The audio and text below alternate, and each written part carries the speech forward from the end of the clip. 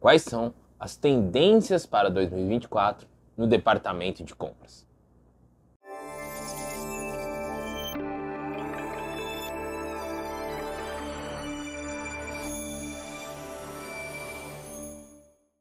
Fala pessoal, seja cada um muito bem-vindo a mais um vídeo hoje aqui no nosso canal.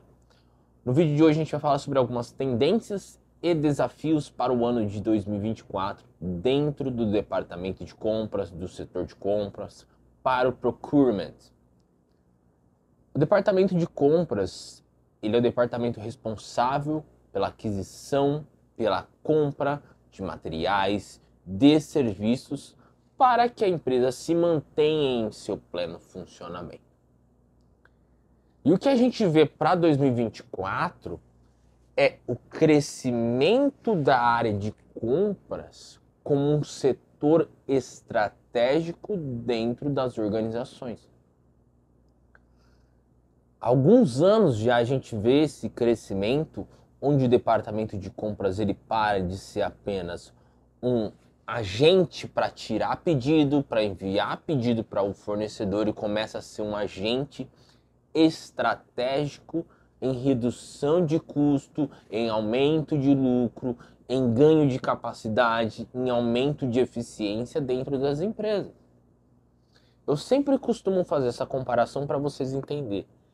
Quando a gente não consegue ser competitivo na ponta, e quando eu falo ponta, no preço final, porque de repente o nosso produto ele está com uma margem quase zerada de lucro.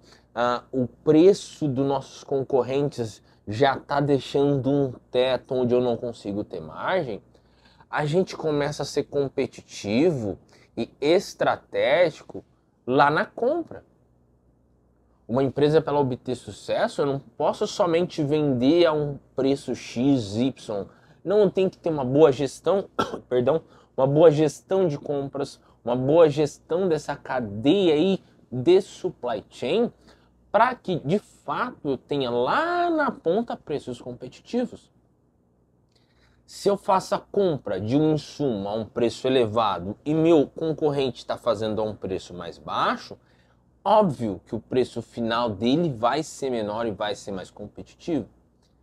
Por que, que eu estou contando isso? Porque as empresas começaram a enxergar o quanto é estratégico e saudável para o negócio investir no departamento de compras, investir na área de compras, porque isso tem impacto direto na lucratividade, no lucro desta empresa.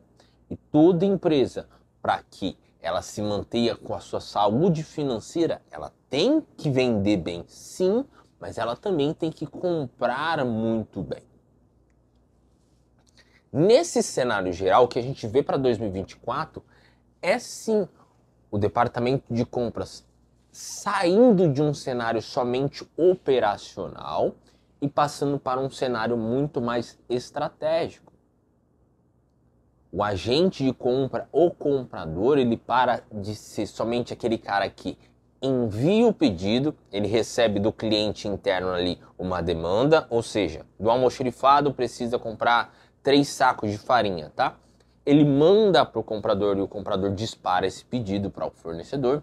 Ele para de ser somente esse agente que tira pedido, que envia pedido e começa a se tornar um agente estratégico, enxergando a cadeia como um todo. Por que, que eu preciso comprar isso? Qual é a necessidade dessa quantidade? Qual é a necessidade desse insumo? Depois, junto ao fornecedor, quem são os fornecedores disponíveis? se eu já tenho um fornecedor homologado, como a gente faz para ganhar mais eficiência, para reduzir custo, para aumentar ali os ganhos sobre aquela compra. Então eu paro de ser um profissional apenas operacional que aperta um botão no teclado e envia um pedido e começo a me tornar um profissional estratégico, olhando a cadeia como todo e não só a cadeia interna da empresa, mas externa também. Eu começo a olhar também o mercado, e aí quando eu falo eu começo a olhar, eu estou falando profissional de 2024. A gente tem que começar a olhar o mercado como um todo, tá? O mercado que a gente está estabelecido, os mercados dos nossos fornecedores, para começar a entender de fato todo esse processo. um desafio de 2024 é a volatilidade de preço. A gente tem guerra em vários cantos do mundo e a gente sabe que com a globalização, qualquer guerra que estoura em qualquer canto do planeta afeta diretamente os preços. Hoje eu moro no exterior, eu moro no Japão e a gente vê que aqui no exterior esta visão do comprador, do procurement, de ficar de olho no mercado internacional já é muito grande. Isso tem que se estabelecer no Brasil também. A gente tem que ficar de olho no cenário internacional, nas notícias do cenário internacional, porque uma guerra que atinge uma pequena região em algum canto do planeta afeta os preços. A gente tem a questão da Rússia aí, com a guerra na Rússia, a gente tem volatilidade de preço uh, em agrotóxicos, um exemplo, claro, e aí com essa volatilidade de preço, toda a cadeia começa a sofrer com isso, porque aí a mudança, a escassez do produto faz com que esse produto aumente de preço e aí dispara o preço e aí a gente vai passando de um produto para o outro esse preço até chegar no consumidor final. Então a volatilidade do mercado e a volatilidade de preço precisa ser acompanhada pelo comprador em 2024. Se em 2024 a gente perder a mão das análises de preço, a empresa pode sofrer um grande impacto. Pode sofrer um grande impacto na sua lucratividade. Então, o que a gente precisa fazer como comprador em 2024? Ter em nossa visão analítica o aumento e também a diminuição dos preços, ou seja, o histórico dos preços desses produtos que a gente está adquirindo, mas também, mas também um olhar externo para os preços que estão praticados no mercado. Muitas vezes acontece dentro do departamento de compras da gente só analisar a média de preço que está subindo. Então, um produto ele passou de 1 para 1,50, foi para 2 e aí fica entre 2 e 2,50, 2 e 2,50. E se a gente só olha para dentro de casa, o histórico que está no nosso ERP, que está no nosso sistema, vai ficar 2,250, 2,250.